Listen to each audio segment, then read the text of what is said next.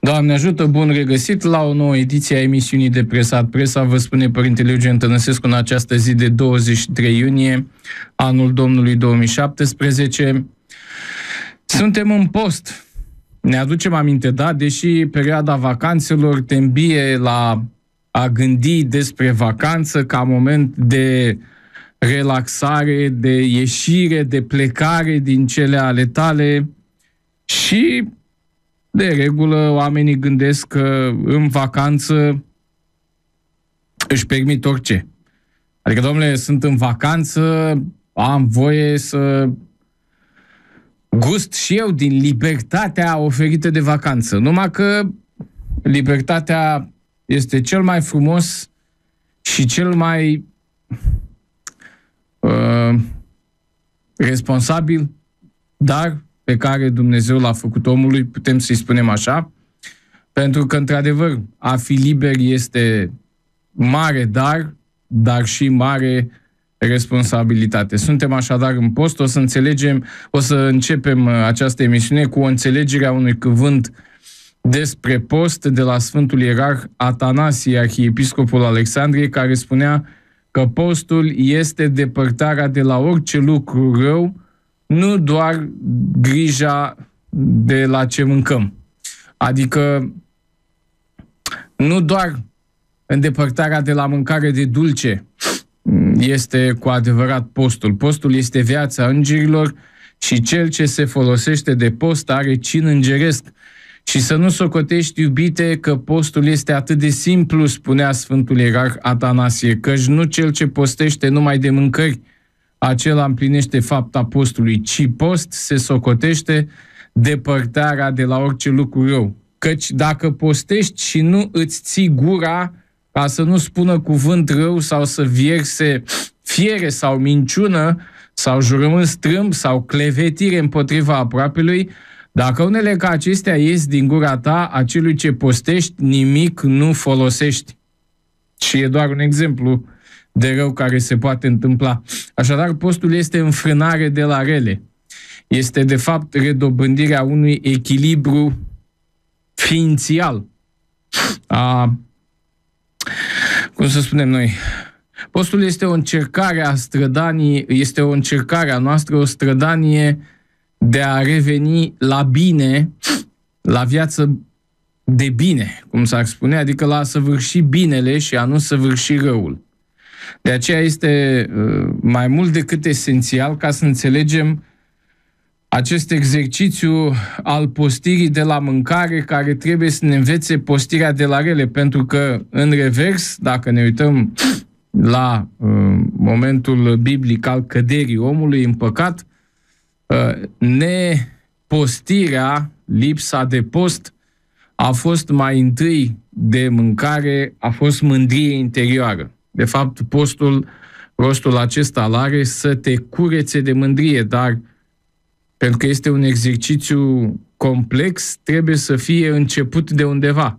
Și începem de la lucrurile obișnuite și cele care ne fac plăcere. Este vorba de plăcerea mâncării mai mult aici, de aceea mâncarea din restul anului se cheamă de dulce, nu că ar fi dulce în glucide, în zaharuri, ci este de dulce pentru că te îndulcește, îți dă plăcerea mâncării. Există și o desfătare la mâncare. Și începem cu tăierea plăcerii de la mâncare pentru a tăia celelalte plăceri și patime ale noastre pentru a scăpa, în final, de plăcerea mândriei.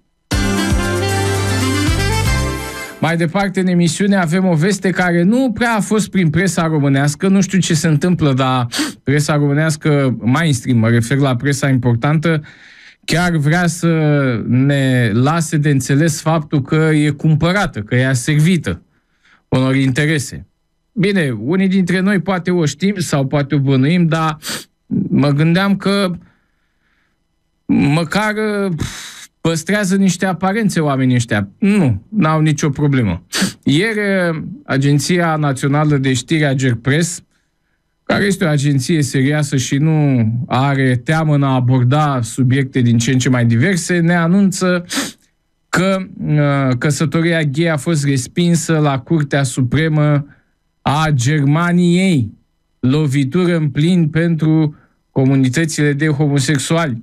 Curtea Constituțională a Germaniei, cu sediul la Karlsruhe, a respins marți o tentativă a Partidului Verzi, partid de opoziție, de a forța un vot parlamentar cu privire la legalizarea căsătoriilor între persoane de același sex în Germania, înaintea alegerilor federale din septembrie. Uh, în Germania este parteneriat civil, dar nu este căsătorie. Știi? Uite că Germania nu vrea căsătorie între homosexuali și cea mai vocală, uh, să spunem așa, ființă germană este Angela Merkel, care de foarte multe ori, încă de uh, din anii trecuți, a spus așa, căsătoria trebuie să se limiteze la un bărbat și o femeie. Cancelarul german a spus că este de acord cu parteneriatele civile, dar nu cu căsătoriile. Da?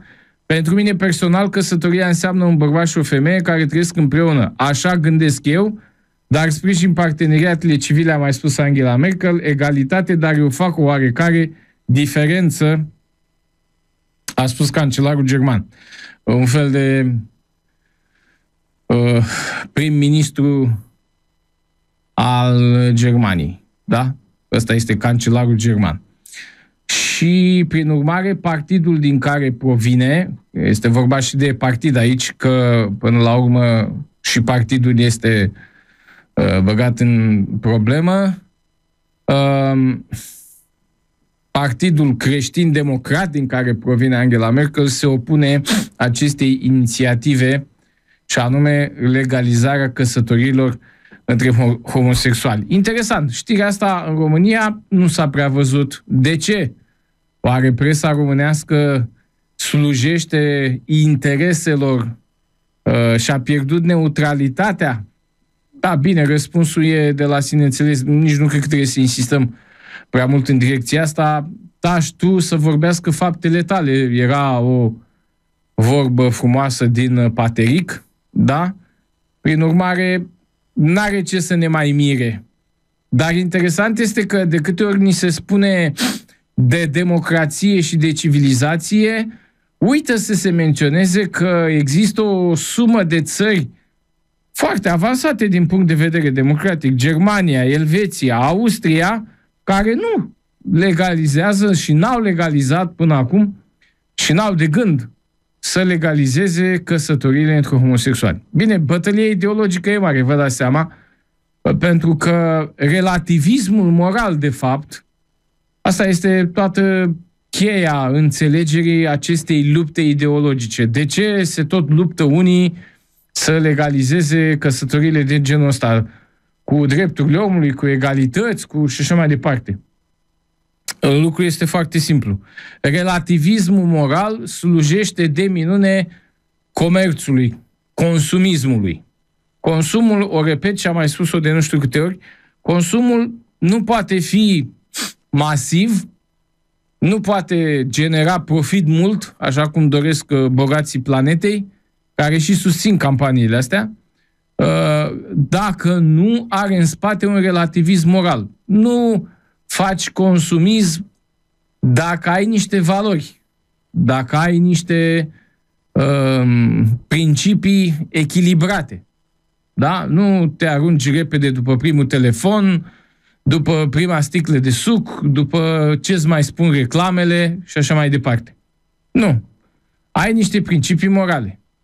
Dar relativismul moral vine și distruge aceste principii morale și, prin urmare, poți trăi fără aceste principii, ți se bagă în cap că, lasă domnule, morala e ceva relativ, totuși dreptul omului e mai important decât morala. Da, există și dreptul la greșeală. Da, e util? Despre asta este vorba, adică până unde merg drepturile omului și unde se opresc. Și cum pot fi interpretate, că aici e și o altă discuție despre cum interpretăm acest, acest drept al omului. Uh, una peste alta, lupta asta cu relativismul moral va fi tot timpul. Nu e de ieri de azi, nu au inventat-o nici mai mari uh, lumii recent, uh, de când cu revoluția asta a emancipării vieții intime și așa mai departe. Nu, ea e de mult timp. De la Adam încoace, de când s-a spus uh, nu lasă că Dumnezeu vă păcălește. Știi? Despre asta e vorba. Adică tot timpul veți vedea că în paternul ăsta al relativismului moral există fraza asta cheie, lasă, domnule, că nu e chiar așa cum se spune.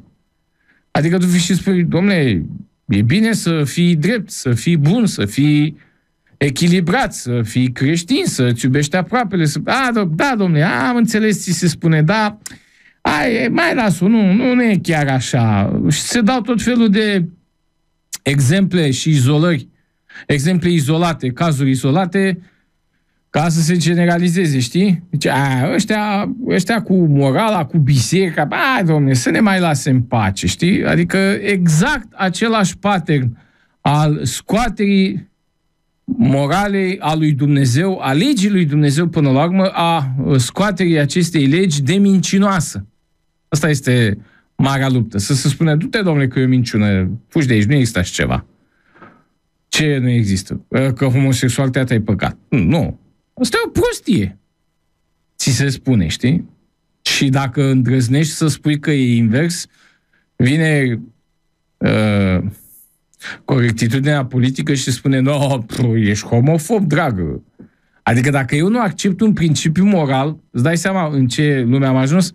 Dacă eu nu accept un principiu moral, că mie mi se pare că e greșit, nu, no, ești homofob. Dar de ce trebuie să mă scriu un corul cântăcioșilor la adresa LGBT, să, să, să-i divinizez, să cad în genunchi în fața lor? O, oh, da, aveți dreptate. Ba, n-aveți! E dreptul meu să spun asta. Așa cum, sigur, și ceilalți au dreptul să spună ce vor. Dar stai puțin, că am și eu drepturi. Nu, nu mă limitați în drepturile mele doar de dragul lor. Discriminarea pozitivă nu trebuie să aducă și o discriminare negativă. Știți, despre asta este până la urmă vorba. Mai departe vorbim de o situație tristă în România și anume despre situația medicilor care săracii sunt între Ciocan și Nicovală. De ce? Pentru că ei sunt în mijlocul unui sistem care îi presează și dintr-o parte și din alta. Pe de o parte, pacienții solicită de la medic să fie tratați corespunzător, să li se ofere tratamentul care li se cuvine și așa mai departe. Iar pe de altă parte, medicii sunt presați de chestiuni administrative și sunt limitați uneori în posibilitatea de a face bine pacientului pentru că n-au cele necesare. Iată, de exemplu, avem astăzi două subiecte. Primul este legat de uh, economii când e vorba de viața propriilor cetățeni, mai cu seama a micuților. De multe ori, spitalele din România uh, au regula supraviețuiește cine are noroc sau ceva de genul ăsta. Fondurile pentru tratarea pacienților care ajung la terapie intensivă sau în unitățile de primiri de urgențe sunt mai mici, mult mai mici decât anul trecut, spune televiziunea română, iar medicii n-au medicamente suficiente. Așadar, sunt obligați să le dea bolnavilor, adulți și copii, doze mai mici decât ar trebui sau, alternativ, doza care trebuie, dar nu pentru toți. Ministerul Sănătății păstrează tăcerea în cazul acestui uh, subiect. Uh, oamenii vin la spital, așteaptă tratament, sunt uh, adulți bolnavi, sunt copii bolnavi, medicii fac eforturi să-i salveze, dar de multe ori se trezesc condiționați de lipsa celor necesare. Nu poți să faci pe un om bine cu mâinile goale. Îți trebuie siringi, tratament, medicamente, instrumentar, aparatură, Doamne ferește de operație și așa mai departe, sânge, tot ce trebuie, știi? Uh, anul acesta fondurile ci că sunt mai mici, spune TVR-ul.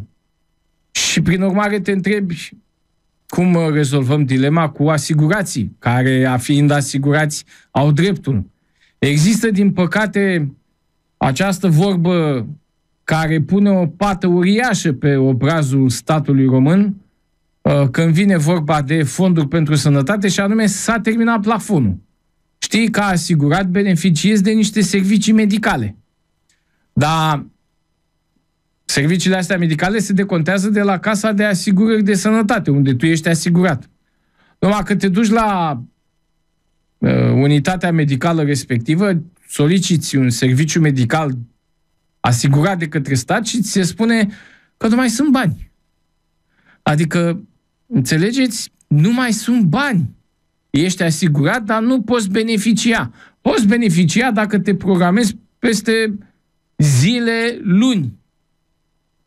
Asta, cum să spun, am mai zis-o și acum, cu mult timp în urmă, uh, cinismul ăsta al managementului uneori uh, crede că poate să programeze totul în această lume. Chiar boala. Adică știi că vorbim de urgențe, deci nu vorbim de alte servicii, vorbim de servicii de urgență. Adică, aule, ce ai făcut? Te-ai îmbolnăvit? Da. Păi nu avem plafon. Bolnăvește-te peste o lună când avem plafon. Programează-te peste o lună cu boala, uh, știi, programează-te la îmbolnăvit peste o lună. Păi, frate, ce facem? Cum adică să mă programez la îmbolnăvit? Acum a venit boala, ce vrei să-i fac? Nu știu, veniți luna viitoare când avem bani. Înțelegeți? Uh, sunt niște situații absolut imposibil de gândit. Mai departe, uh, avem și o altă situație în care și femeile gravide, uh, într-un fel, beneficiază de ecografii gratuite în perioada sarcinii, dar pe același sistem nu sunt bani. Nu sunt bani și atunci trebuie mămicile, viitoarele mămici, proaspetele mămici, trebuie să apeleze la clinici private, la servicii private.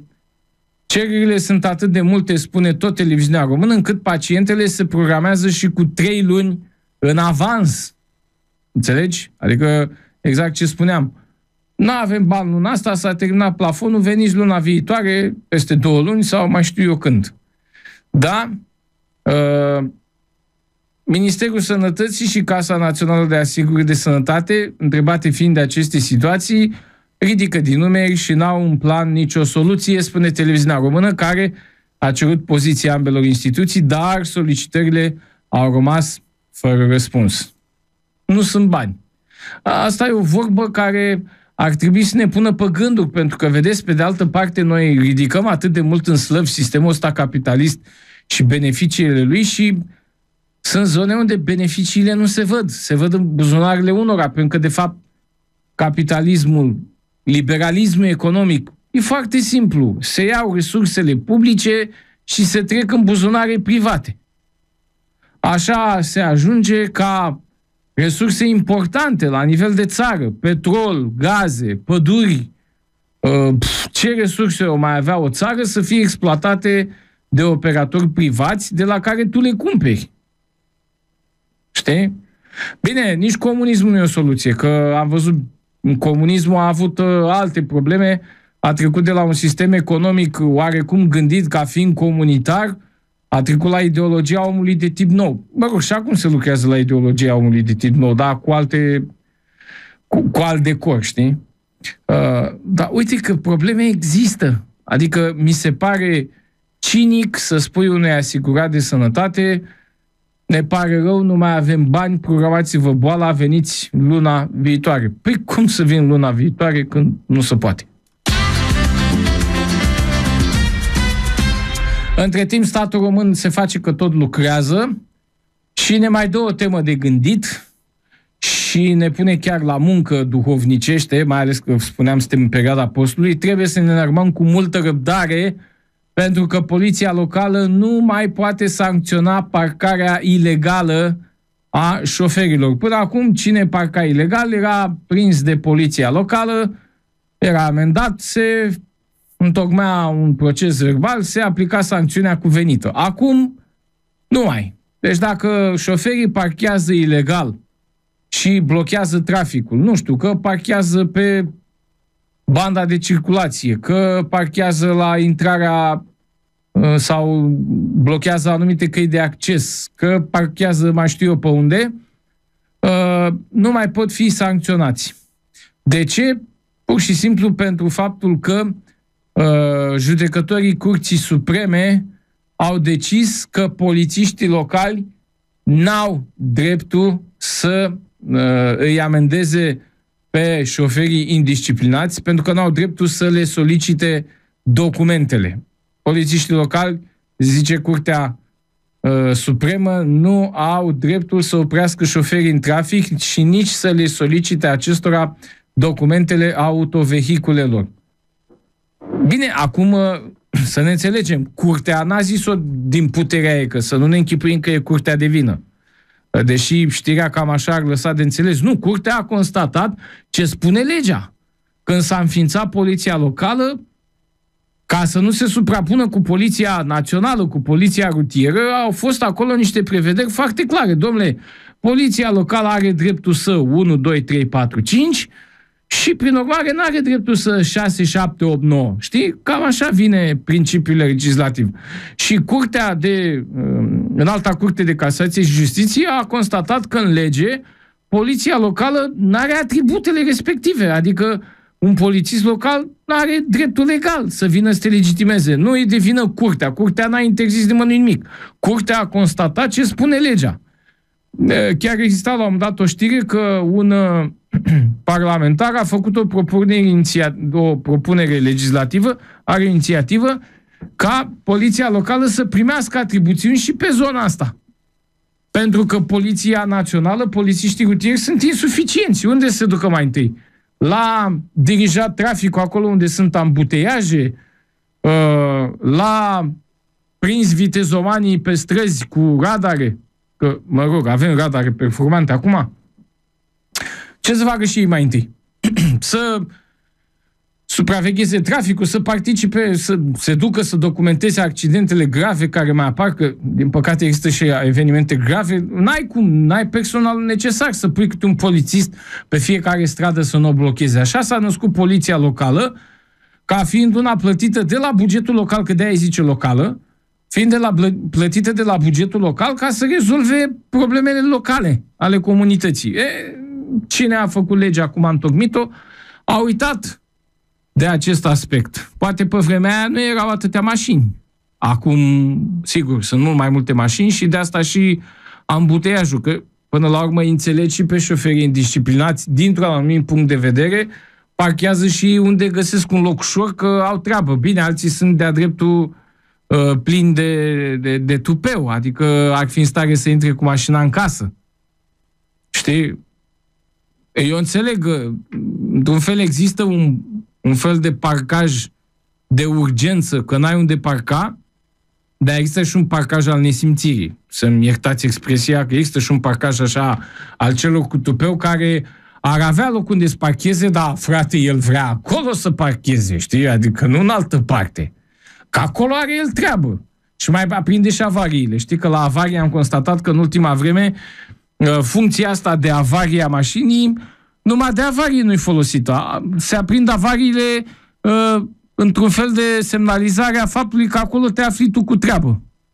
Știi? Ar trebui să se scrie în, în manualul de, în codul rutier, de fapt, în manualul cu semnele de circulație, că uh, semnalizarea de avarie nu înseamnă semnalizare de aflare în treabă. Adică, a, uite, am și eu niște treabă aici, stai că trag repede pe prima bandă și pun avaria. Păc, păc, păc, păc, păc, păc, păc, face avaria acolo. Că, că am eu niște treabă. Păi e semnal de avarie, ai semn că ai o avarie. La... Care e avaria ta? Că ai nevoie de o șaorma sau ce? Am o avarie la stomac, aoleu, îmi lipsește șaorma din stomac. Mă duc să bag repede o șaorma și știi că așa gândește manelistul. Bine, fără a avea ceva personal cu tipul de mâncare respectiv, Știi? Dar vreau să zic, care e avaria? Când tu oprești mașina, o pui pe avarie că... Sau altceva, poftim, vrei să iei un pachet de țigări, că te-a apucat tremuratul că nu mai ai țigări, ai intrat în sevraj. Care e avaria la mașină? Hm? Aflarea întreabă. Deci, trebuie văzută trebuie văzută mai atent legislația. Curtea de Justiție, până la urmă, n-a făcut decât a constatat ce spune legea. Nu-i devine nimeni că legea a fost făcută așa. Da? Uh, Și care e soluția? Păi soluția e foarte simplă, să se dea atribuțiuni legale, dacă este cazul, polițiștilor locali, ca să mai uh, reglementeze traficul. Așa, dacă stăm după Poliția Națională, ținând cont de faptul că ei tot timpul spun că sunt în criză de personal și este foarte adevărat, adică nu, nu există dubiu aici, că ar trebui personal mai mult, uh, asta a fost soluția, înființarea poliției locale, da? Trebuie să dăm și atribuțiuni. Mai departe, aflăm uh, ceva cifre de pe statistici. Mergem până la ONU, care într-un raport de previziune asupra populației lumii ne spune că în 2050 vom fi, dacă vom apuca unii dintre noi, 9,8 miliarde de oameni pe această planetă și lucrurile arată destul de trist pentru civilizația vest-occidentală și europeană. India va depăși China ca cea mai populată țară din lume, Nigeria va întrece Statele Unite ca număr de locuitori, la polul opus se află Europa, care are cea mai mică rată a fertilității din lume și, prin urmare, vom fi cei mai puțini. Ce credeți că se va întâmpla, nu? Vom fi 9,8 miliarde, dar în niciun caz nu vom fi prea mulți europeni. Pentru că asta este... E, a, vorbeam de plăcere, cum te distruge plăcerea. Uite, India va fi mai, mai populată decât China. Cum te distruge plăcerea, despre asta este vorba. Da, o să continuăm imediat ideea. Hai să terminăm cu cifrele.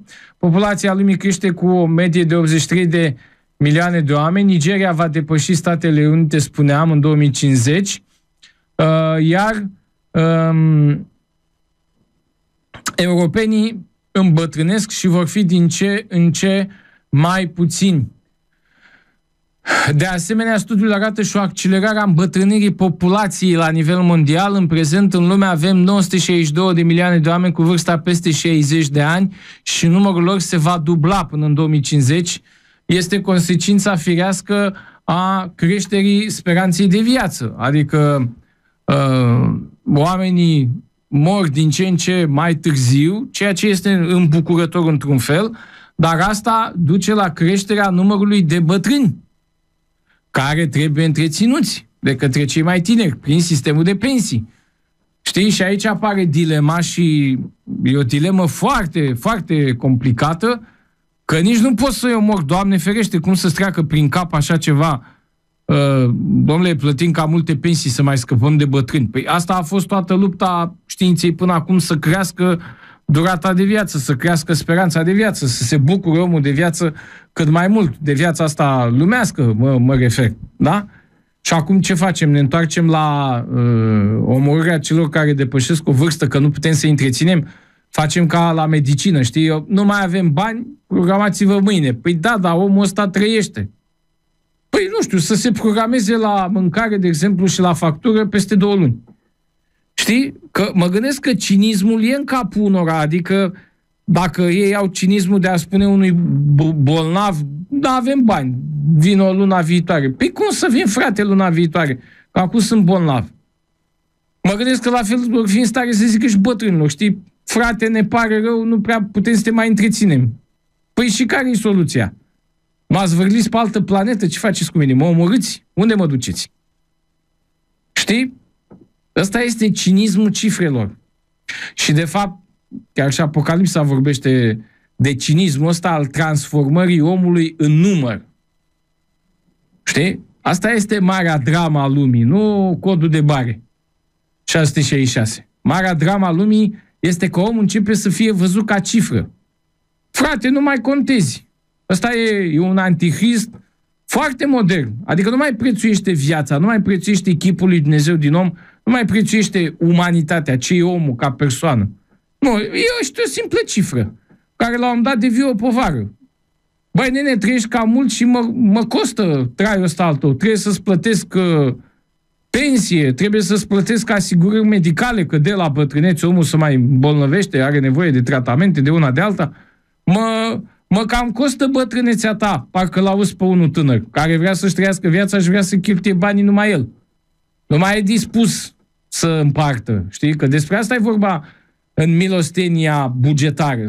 Cei care au împart cu cei care n-au. Până la urmă, civilizația asta de tip european și gândirea bugetară actuală e una de tip creștin, adică cine are, dă celui ce n-are.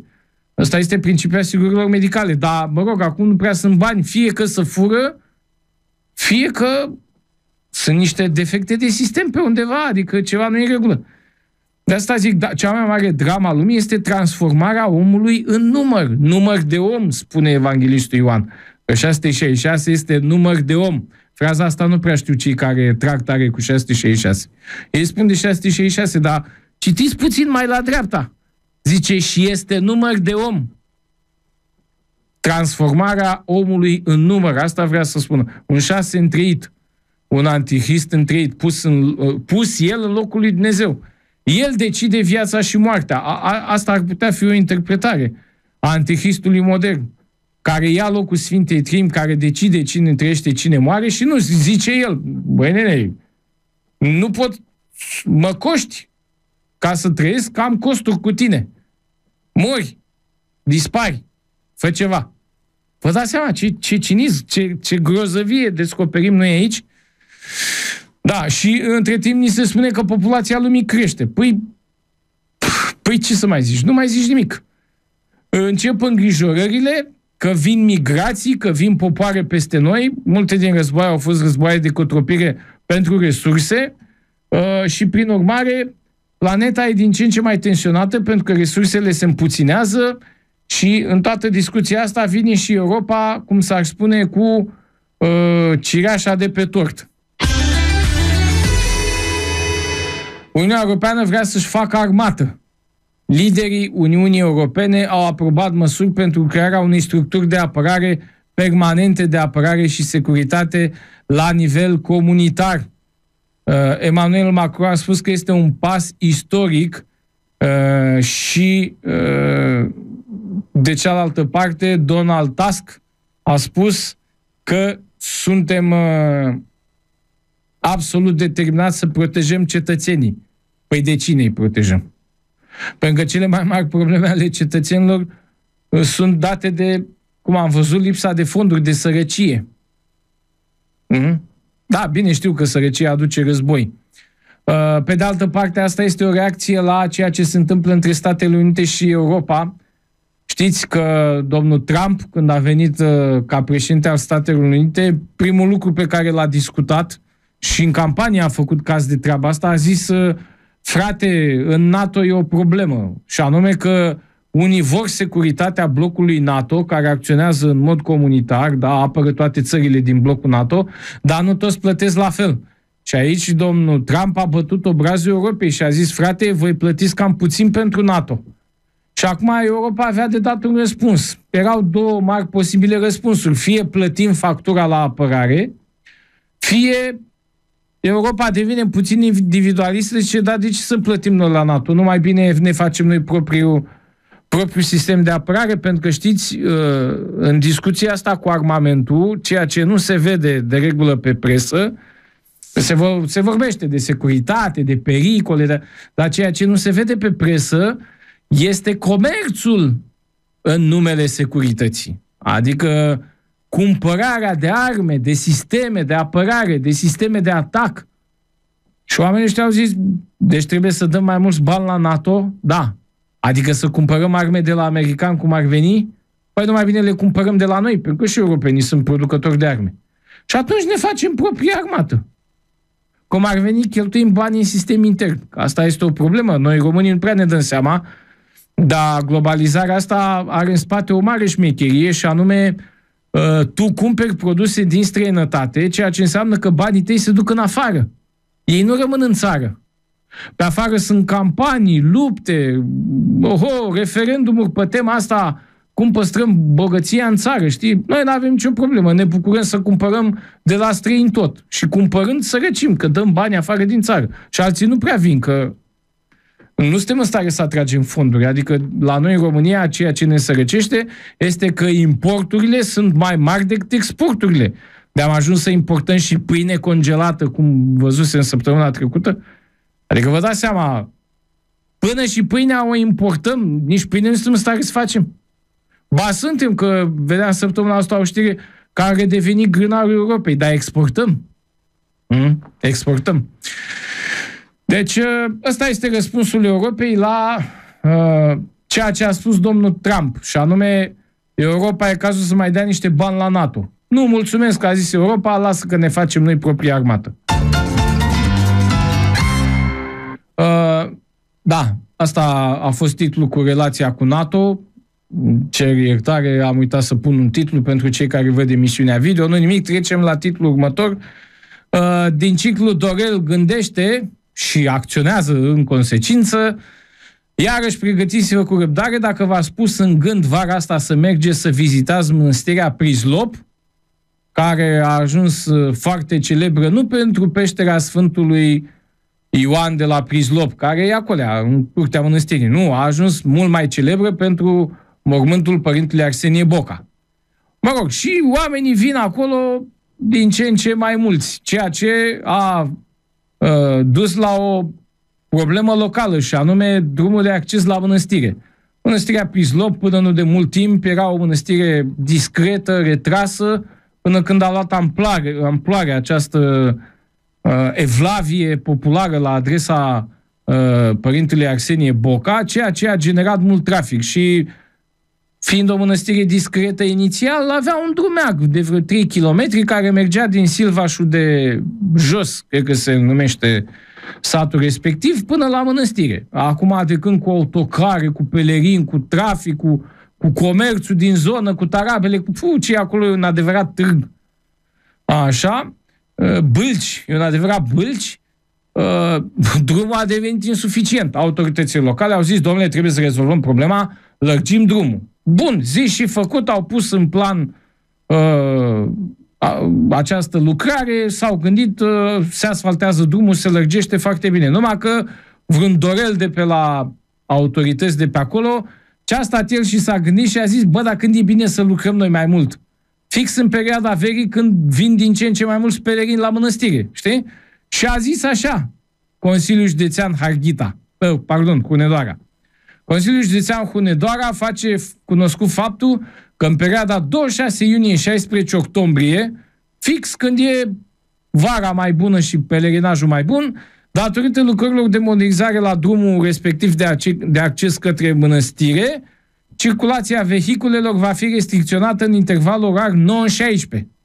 Deci puteți să vizitați mănăstirea cu mașina după ora 4 după amiază sau până 9 dimineață. În rest, nu, pentru că se asfaltează. Păi și restul pelerinilor ce fac? Pe jos. Sau, nu știu, cu telefericul, cu ce? Cu zepelinul, cu... N-am înțeles.